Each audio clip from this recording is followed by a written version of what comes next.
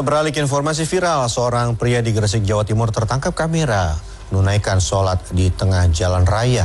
Padahal jalanan sedang ramai kendaraan. Sementara itu Dinas Kesehatan Kabupaten Bogor, Jawa Barat meminta tes DNA untuk mengungkap kebenaran kasus bayi tertukar selama satu tahun di wilayah Kemang. Seorang pria tertangkap kamera menunaikan sholat di tengah jalan raya Sembayat, Gresik, Jawa Timur. Padahal jalanan itu dalam kondisi ramai lalu lalang kendaraan. Dalam video berdurasi 25 detik yang viral di media sosial, tampak pria yang mengenakan baju koko warna putih dan beralaskan sajadah itu khusyuk sholat. Beberapa warga pun memilih untuk menunggu sampai pria itu selesai sholat. Menurut Kepala Desa Sembayat, pria itu diketahui datang ke lokasi naik sepeda motor. Tak lama berselang, ia pun sholat di tengah jalan. Kasus bayi tertukar asal Ciseeng Bogor, Jawa Barat membuat Kepala Dinas Kesehatan Bogor, Jawa Barat meminta kedua orang tua bayi melakukan tes DNA.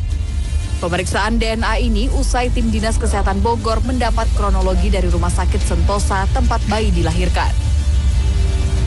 Kan kami sudah menerima kronologis daripada kasus tersebut. Kan ini eh, apa namanya ada sudah tes DNA ya pada salah satu daripada mereka. Mudah-mudahan ibu yang lain yang selainnya yang juga bekas juga bisa uh, legowo melakukan pemeriksaan DNA juga agar lebih lebih akurat ya. Sebelumnya Siti Mauliah, warga Ciseeng Bogor Jawa Barat melapor ke Mapolres Bogor Jawa Barat karena meyakini bayinya tertukar saat menjalani persalinan di rumah sakit. Siti memiliki bukti bahwa bayi yang ia asuh selama setahun ini bukan darah dagingnya lantaran hasil tes DNA-nya berbeda. Siti yang berupaya langsung menghubungi orang tua yang ia yakini merawat anak kandungnya tidak membuahkan hasil. Bahkan permohonan mediasi dan tes DNA juga tak digubris. Kok ini gelang si pasien si B ya kata saya gitu ya.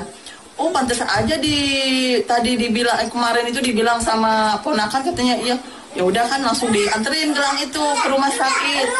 Pas udah gitu ditanya ini bahwa gelang ini terus ketukar bayinya enggak kan gitu ya. Uh, kalau gelangnya ketukar, bayinya juga ketukar nggak? Tapi kemudian yang jadi kendala adalah uh, ibu uh, B ternyata menyatakan uh, sampai dengan saat ini, sampai dengan saat ini, saat itu waktu itu dia menyampaikan bahwa secara mental dan psikologis dia belum siap. Hingga kini korban masih merawat baik balita yang diasuhnya sambil menunggu keluarga yang diyakini merawat anaknya bersedia untuk melakukan tes DNA. Tim Liputan CNN Indonesia.